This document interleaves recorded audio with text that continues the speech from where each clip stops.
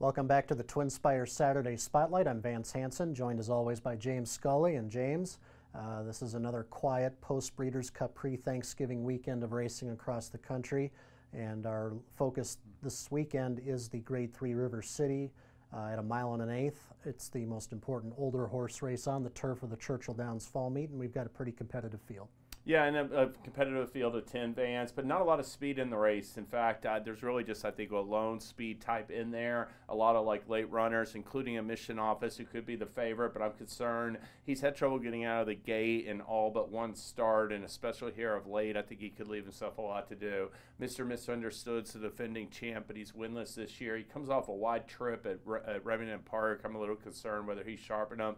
I've landed on Get Western for Charlie LoPresti. He hasn't been a mile and an eighth yet, but I think he has the right run style and he could get the right trip to, to get the distance uh, tomorrow on Saturday.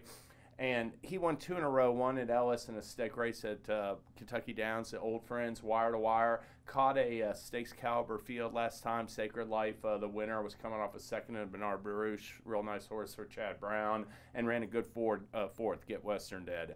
I think he'll get a better trip to, on Saturday, lead wire to wire. I also like Emmaus.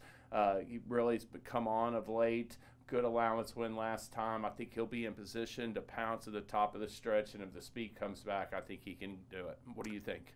Uh, I'm I agree with a lot of your points there. I'll get Western is the speed of the speed, no doubt about it. He's going to be very dangerous if he shakes loose and gets the distance. Uh, my main concern, though, is that uh, this course is not going to be labeled firm. He's never really perf performed on a less than firm course before. We'll see how he handles it.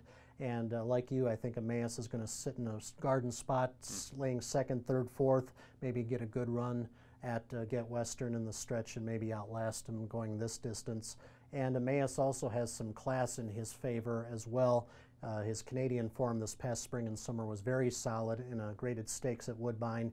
Uh, he didn't he missed in a photo to uh, El Tormento, who went on to beat Got Stormy in the Woodbine Mile, and that was a race Emmaus lost himself by less than five lengths after a slow start and some trouble in the stretch. And he's also faced a pretty good horse named Synchrony, who we're quite familiar with. So coming off a third level allowance at Keeneland, I think Emmaus is going to be very tough here. All right, well, I'm going to bet uh, for my $20 bankroll, I'm going to bet five to win in place. Going to top pick the eight horse, and I'm going to box it with the Emmaus, so a $5 exacta box and five dollars to win in place. Uh, how are you playing the race? I'm going to do fifteen dollars to win in Emmaus, and then I'll put him in uh, two dollar exactas on top over admission office, who I think is much better than he showed in the uh, Shadwell Turf Mile last time. He's very tough with his best, and also I like a Cullum Road a little bit. He uh, ran a very close third in the uh, Baltimore Washington Turf Cup at Laurel two back. He kind of uh, bounced a little bit off that performance and the third level allowance that Emmaus won at Keeneland, and I think he's very dangerous coming right back with uh, for trainer Mike Maker, who has three horses in this race. All right. So that's our views of the River City. You can tune into that race and a whole lot more this weekend at twinspires.com. Uh, join us this weekend, and we'll talk to you again next week.